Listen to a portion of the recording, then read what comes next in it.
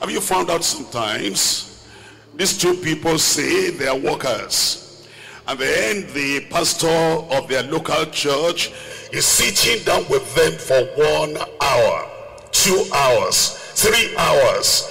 They're two sisters and they're working in the same section of the church. Then the choir. But you notice they never greet each other. And Sister Purity. That's not a sister, that's madam. That's lady so and so. That's madam so and so. We are children of God. Uh-uh, are we? I mean, aren't we born again? Uh-uh, are we? We are servants of the Lord. You are in the choir together. And you are not even greeting each other. Now, you know what, please? Let's settle. Eh, Pastor, settle. Eh? Do you see what she did to me? Did you see how, do you see how she was talking to me like a child? Treating me like I, I'm a child child in children church. That's why she stood up in, in the choir practice and was I was I was I was telling telling choir master to put off my mic during ministration because because I'm singing off key, embarrassing me in front of everybody. Eh, please, Sister Purity.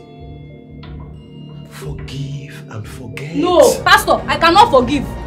I cannot forgive. You, you must understand that what she did, what she said is, very painful. I cannot forgive. Who needs your forgiveness? Okay. Who needs your forgiveness? If you don't behave like a child and act like a child, I wouldn't treat you like that. How will you be singing another key when others are singing on the right key? I agree, oh. You They will off your mic again and again. This is that you can tell you the last time you talk to me like that. You cannot be talking to me anyhow.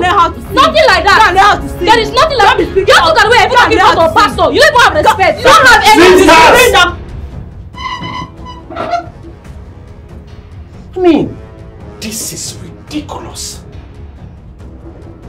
It's about time for morning service. Now you go to the church now and comport yourself in the choir unit so that you can catch up with your rehearsals. And let me tell you this, after the service, you must still come back to see me. We need to deal with this. Ah, there you are. There you are. That's, that's how you spoil the church. When you finish singing on Sunday, they should not be there.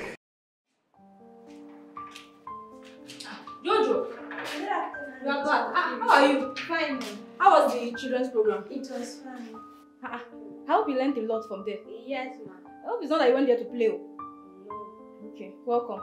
How about Bro Believe? Was he there? Yes, he was there. He was there.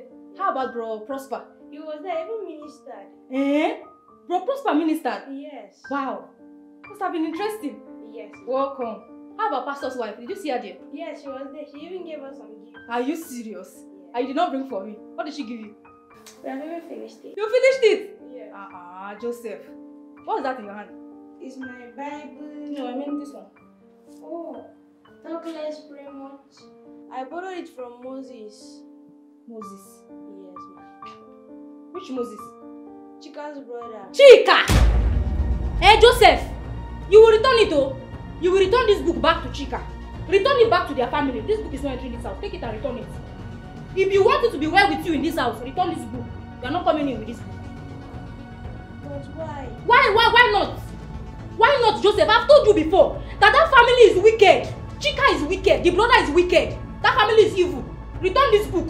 But Chika told me that you have been fighting each other, you and your sister. Is it true? Joseph, that Chika is a wicked human being. She's very wicked. Their family is wicked. Eh?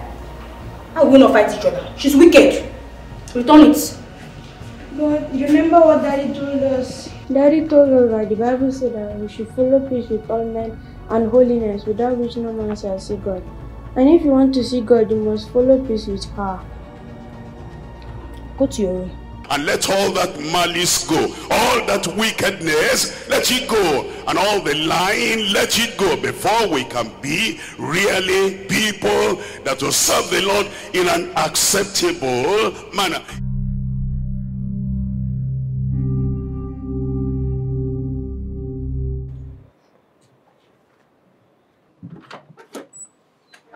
Good afternoon, sir.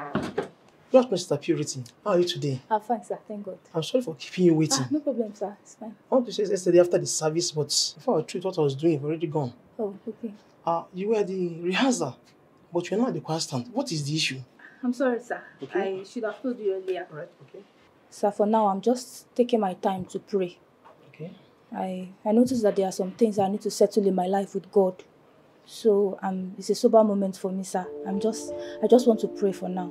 So um, maybe when I'm done praying and I get back on my feet, I can join the workforce again, sir. But for now, I'm praying. If you count that service important, that service essential, and that service very necessary for you, then do what it takes. Put yourself.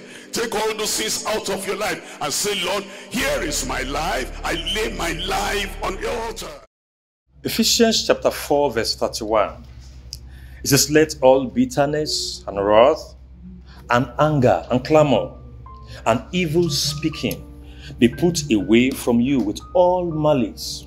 And it says in 32, And be ye kind one to another, tender hearted, forgiving one another, even as God for Christ's sake has forgiven you. You see, as workers and children of God in the church, it's not expected that you begin to fight each other. Malice in the choir, malice in the ushering team, malice within the coordinators. And then because there are disagreements here and there, instead of you to speak to one another and forgive one another and forget as Jesus Christ taught us, and then you continue fighting each other, you don't greet each other, that's not in the Bible. And so if you are workers in the household of God, you live by example. And so I would not like to hear these issues here and there because if you know your life is not right with God, then it's not right for you to stand and serve in the church of God. Is that taken? So I pray God will bless us in Jesus' name. Uh, the choir master will come now and um, you know round up with you uh, while I wait for Sister Purity and Sister Chika to see me in the office. God bless every one of you. I believe that by now both of you have settled and that um, you know things like strife and grudge are no more in your life because when we say we are children of God, then we should not find such things in our lives. So I believe by now you have settled before God and there are no offenses between the both of you. Uh, in my own heart, it's finished. And for me, God has been dealing with me. And God has opened my eyes to see that the way we were fighting each other, keeping malice with each other, it was not right at all. And I've, by the grace of God, I've made my way right with God. I now see my sister here as my friend.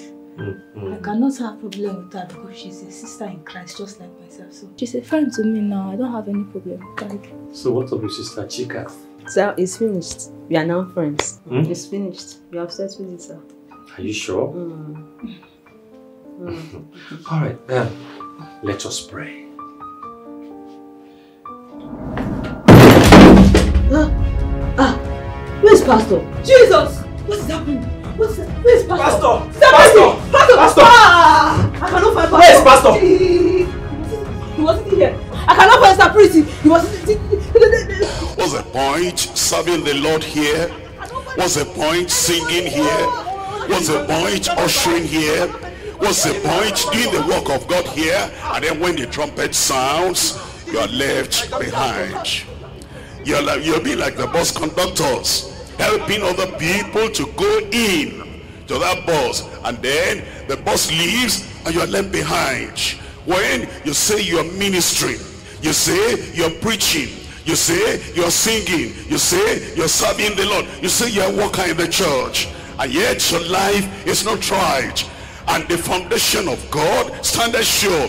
Having this seal is not going to change that standard for anyone. And if you are just serving the Lord, and there's no purity there, there's no sanctification there, there's no holiness there, without holiness, no man shall see the Lord.